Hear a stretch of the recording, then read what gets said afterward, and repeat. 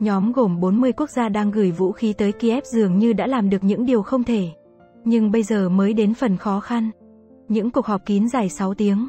Mỗi tháng, khi Bộ trưởng Quốc phòng Mỹ Lloyd Austin tập hợp các chỉ huy quốc phòng của hơn 40 quốc gia ở phía tây nam nước Đức, cuộc họp kéo dài hàng giờ thường kết thúc theo cùng một cách Celeste Wallander, người đứng đầu các vấn đề an ninh quốc tế của Lầu Năm Góc, đề nghị mỗi người tham gia đọc những vũ khí mà quốc gia của họ sẵn sàng tặng cho Ukraine.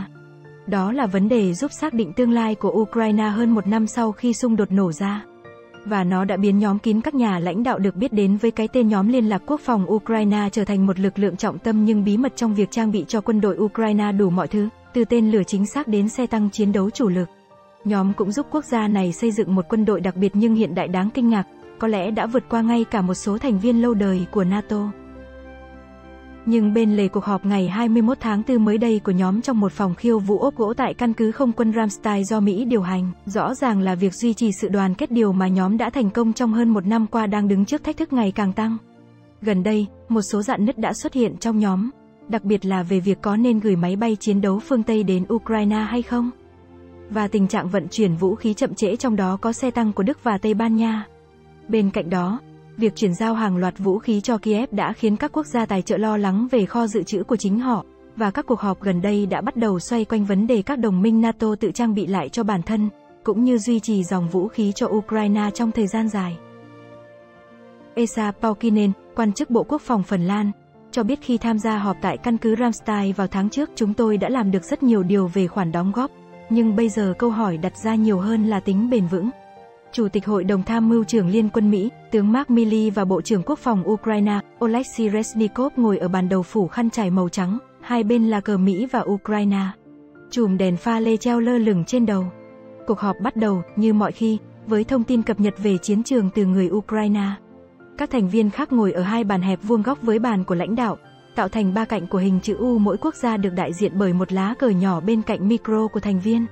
Tướng Austin dẫn dắt cuộc thảo luận, phát biểu mở đầu và kết thúc, nhưng ông thường dành nhiều thời gian hơn để nghe các bài thuyết trình. Trong cuộc họp gần đây nhất, các thành viên đã dành một khoảng thời gian 90 phút để thảo luận về những thách thức đối với sự bền vững và cơ sở công nghiệp toàn bộ cuộc họp có thể kéo dài hơn 6 giờ. Ra đời từ những ngày đầu xung đột, nhóm hỗ trợ quốc phòng Ukraine ra đời không phô trương ngay từ đầu cuộc xung đột. Trong thời gian chuẩn bị cho một chuyến đi bí mật đến Ukraine chỉ một tháng sau khi xung đột nổ ra, tướng Austin đã nhận ra một vấn đề lớn đang nảy sinh. Kiev đã vượt qua làn sóng tấn công ban đầu của Nga, nhưng rõ ràng là Mỹ và các quốc gia khác sẽ cần phải vượt qua những nghi ngại trước đây về việc trang bị vũ khí cho Ukraine và cam kết lâu dài.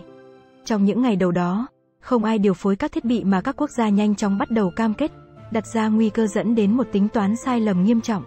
Tôi đã gọi rất nhiều cuộc điện thoại trao đổi với các quốc gia các ông có thể gửi cái này không, và tôi nghĩ rằng đó là thời điểm này sinh ý tưởng. Không, chúng ta cần tập hợp những người đóng góp chính cho Ukraine lại với nhau để có thể hiểu quy mô của công việc này, ông Wallander kể lại. Tướng Austin đặt tên cho nó là nhóm liên lạc quốc phòng Ukraine, họp lần đầu tiên vào ngày 26 tháng 4 năm 2022 tại căn cứ Ramstein. Chính cuộc họp đó đã khởi động quá trình trợ giúp Ukraine.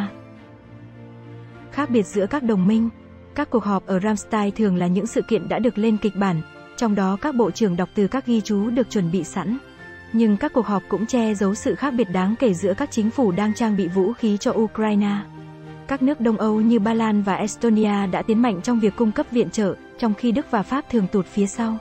Đại diện Mỹ cụ thể là tướng Austin đôi khi phải đứng giữa hai bên.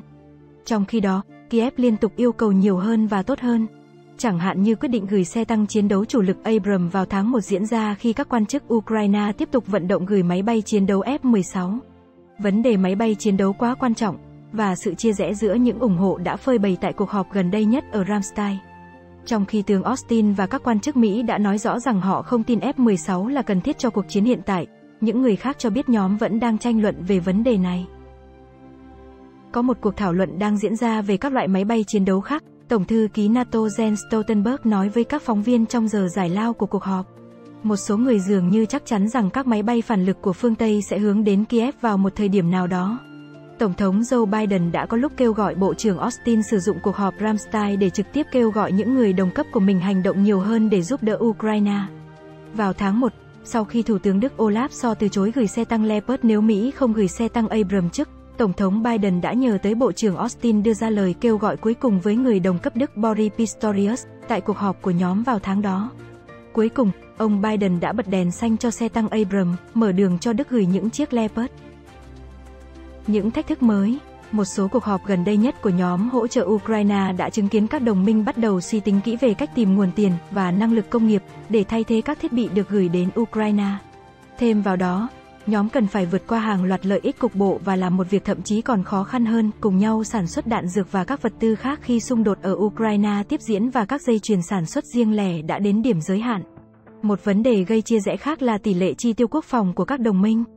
Báo cáo thường niên của NATO công bố vào tháng 3 cho thấy mặc dù các thành viên liên minh này cam kết tăng chi tiêu quốc phòng, nhưng chỉ có 7 quốc gia trong số 30 quốc gia đạt được mục tiêu 9 năm qua là chi 2% GDP cho quốc phòng ít hơn hai quốc gia so với mục tiêu vào năm 2021.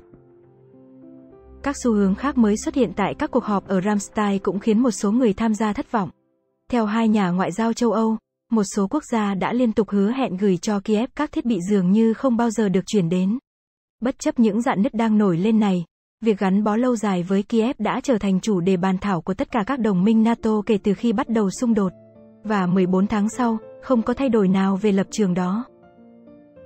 Theo báo tin tức, cảm ơn các bạn đã xem bản tin.